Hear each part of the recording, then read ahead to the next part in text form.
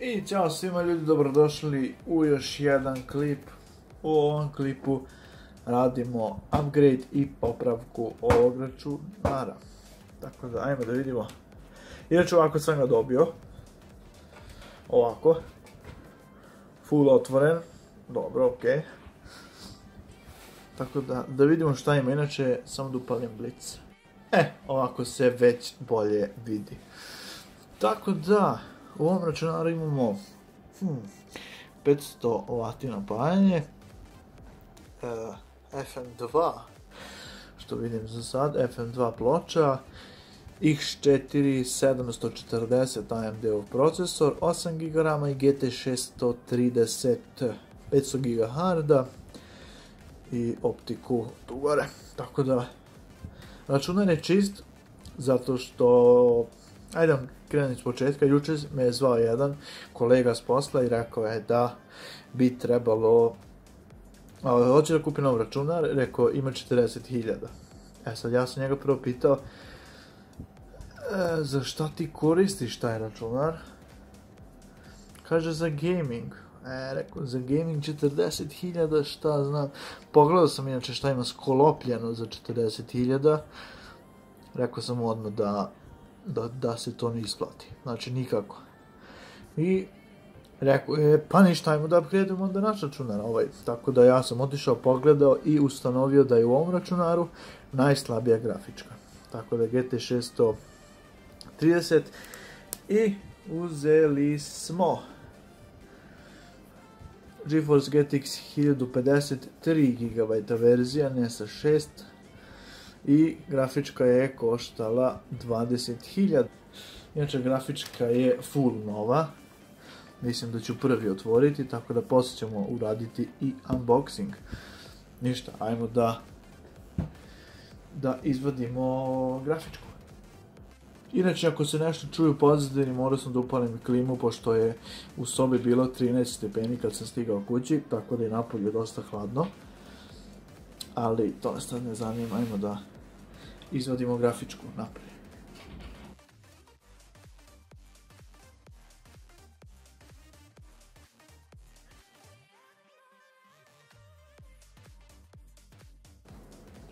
Evo ljudi grafička napolje, znači GT 630.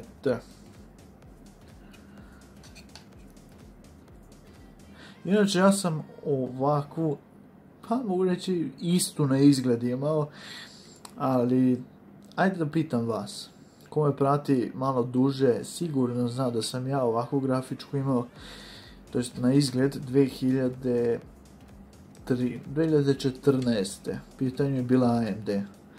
Ajde da vidim, koliko vi pratite.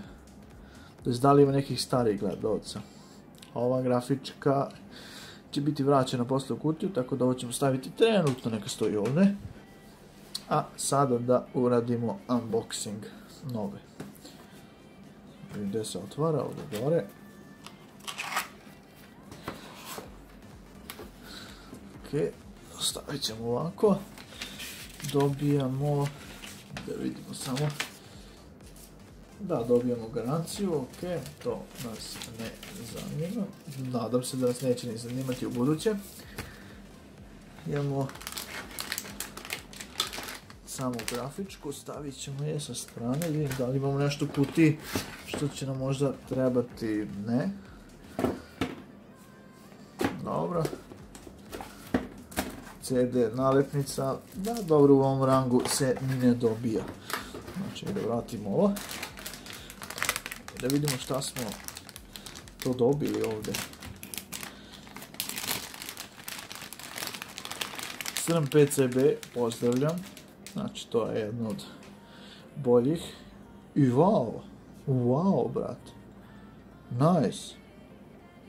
Odličan dizajn ako mene. Mislim, boje su totalno uklopljene. Znači, ovo je jako lepa grafička. Hmm, e, još da je ovo crno, pa ja ne znam. Imamo DisplayPort, HDMI i DVI, sam dalje DVI. DV, oh, DVI, single DVI. Oh, nije DVI dual link, nego je single, au. E, ovo će biti problem. Ali dobro, daći, to jest imam adapter iz HDMI na VGA pa ću prodati jednostavno, pošto nisam, nisam video da ima DVI. Pošto nemaju stari VGA monitor, ali dobro. U štiri, nebitno. Lepa grafička, stvarno, lep dizajn. Evo, znači kako izgleda. Izgledaju dve grafičke.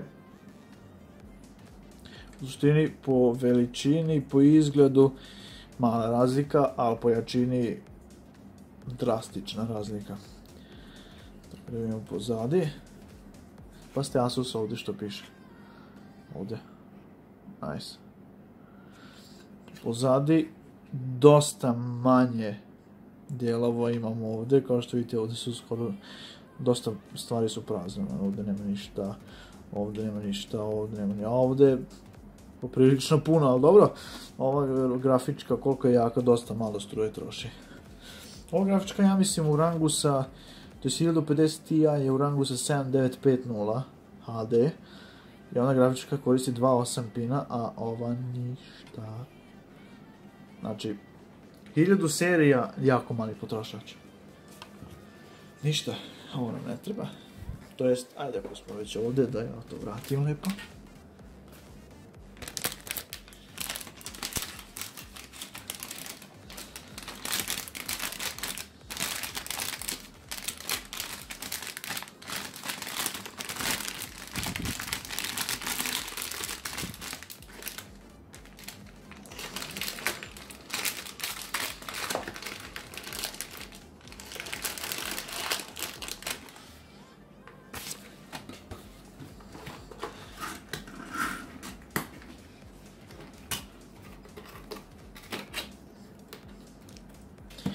Tako ga, ovo ćemo vratiti vlasniku, to nas više ne zanima i da ubacimo ovu grafičku unutra.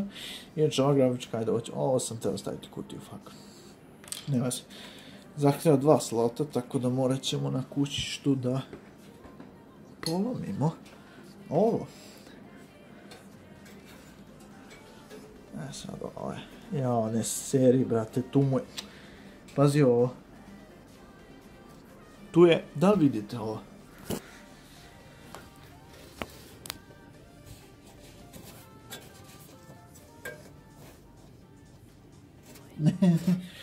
znači, opa. Ne mogu da ga polamim od onog kondenzatora, tako da će ovo biti veoma zanimljivo sam.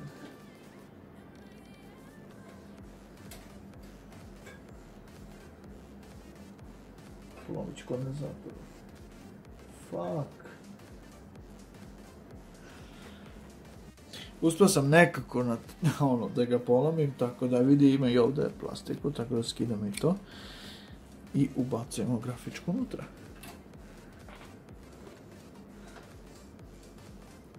Da vidimo. Ok. To je to.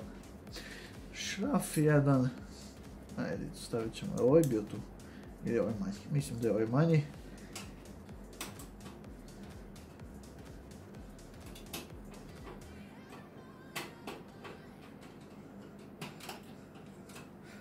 Vraćamo i ovo sranje, koji iskreno ne znam zašto se i dan danas stavlja tu.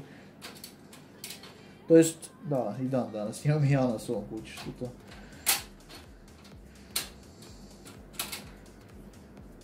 Eto, u suštini to je to, nemamo ni power cable, nemamo ništa. Tako da, ajde vidimo za kraj kako to sve izgleda. Znači, tu je grafička, procesor. Procesor sam išao da rastavljam, to jest da skinem ali neću, to je da zamijenim termalnu pastu, ali neću koji hard disk Seagate. Dobro. Evo ga ljudi, znači instalirao sam Windows, sve potrebno sam instalirao što treba. I dobro što sam instalirao HV monitor, iskreno nisam teo, ali mislim da ću pogledati šta je sa termalnom pastom, to je generalno mislim da je do hladnjaka. 85 stepeni, brate, ovo je na riziku isključivanja već. Ja sam inače pitao vlasnika da li mu se isključivao računar, rekao je da nije što iskreno sumnjam, pošto kod mene u sobi ima 23 stepena. a 85 stepeni je procesor. Ako njegov sobi ima jako, ono, dosta je toplije nego kod mene. Znači 85 stepeni maksimum. I nešto mi još nije jasno, na sajtu piše da ovaj AMD procesor troši 65 W. Šta je onda ovo? Tako da ono, grafička, mislim, ja hladniju grafičku u životu nisam video. Tako da ono. I procesor je dobio, pa nije nešto jak procesor iskreno. Ali ono, ok, ajde vidimo. Da mogu da uporedimo sa ostalim. Evo ga, znači, ono. Ali ok za neki, za ovu grafičku mislim da će biti ono, možda mali bottleneck. Ali se uzemo, šta znam. Vidjet ćemo. To sad ja sada testiram i grafičku. Gdje je grafička? 3D Mark.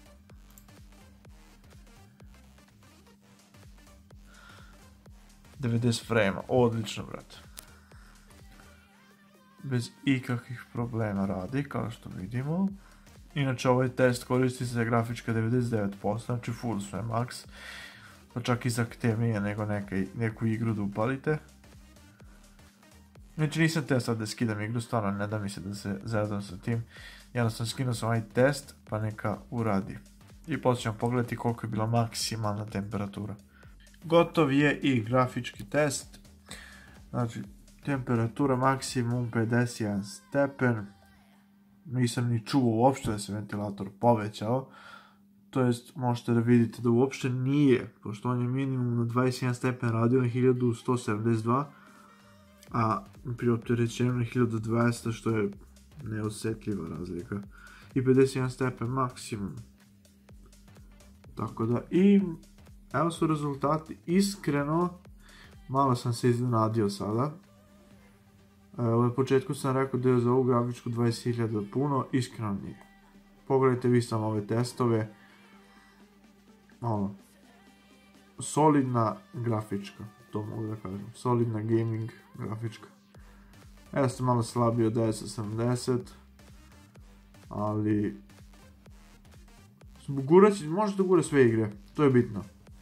Tako da, ali ja se sad brinem za procesor, tako da sad, ćemo, sad ću da zamenim termalnu pastu, pošto 85 stepeni je jako puno, tako da bacamo se na to.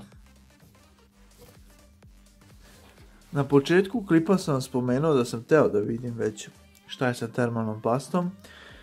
To jest, teo sam da vidim kako stoji situacija, rekao, ajde neću. E sad, ja sam radio test i ljudi vidjeli 185 stepeni, pipnuo sam hladnjak, hladnjak bio hladan, što i sada.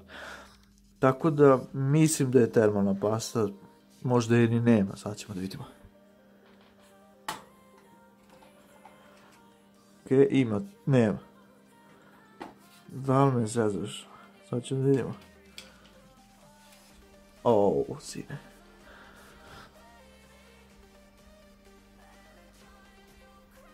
Da. Ok. Paste bukvalno da nema, tako da moramo da zamenimo pastu. Ali ok, nije problem nikakav. Inače, ljudi, ovakav, da, mislim, smešan hladnjak. Smešan. Ali dobro, ako istina da troši 65 W, što iskreno ne verujem, onda nije tako loše. Dakle, da bacamo se na zamenu termalne paste.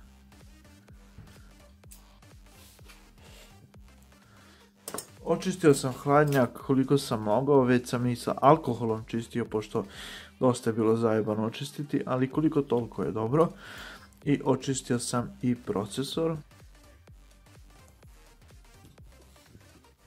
Kao što vidite. Tako da, ajmo da stavimo termalnu pastu koju ćemo pastu staviti. Cooler Master E1. Jedna od boljih termalnih pasti. Tako da skidamo ovaj, a kad ja mogu da skinem sad. Evo ga. Stavljamo malo, ne puno. E. Toliko će biti dosta. I vraćamo hladnjak. Prvo ćemo da prikačimo ventilator. ovde.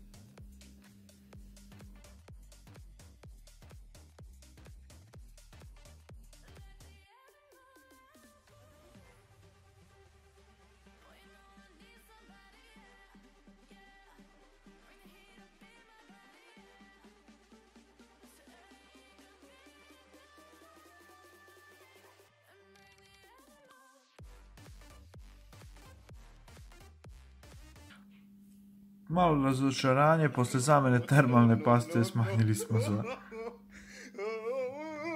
jedan stepen. Tako da, generalno rečeno, ovaj hladnjak je za ovaj procesor slab. Tako da, i iskreno i po ovome već vidim. Pogledajte vi samo potrošnju. Pa moj i7 ne troši ovoliko. A tri puta jači. Tako da, ono, u reći ću vlasniku da, da menja to. Čim, čim, bude bilo, čim bude bilo prilike. Tako da, ono. I eto ga, još jedan upgrade računara, popravka, instalacija Windowsa, zamena termalne paste je gotovo. Tako da, eto, u suštini jedna solidna gaming mašina, mislim trebalo bi promijeniti procesor na neki, pa barem neki Ryzen 3, pošto za ovu grafičku ne treba jači, ja mislim Ryzen 3 ili Ryzen 5, ili neki i peticu, ne mora ni novije generacije, može i 5, 3570, i 52500, i 54460, u suštini bilo koji neki noviji i 5, to jest barem da je 2500, ispod toga ne. Tako da, eto, ljudi, to je to. Ćao.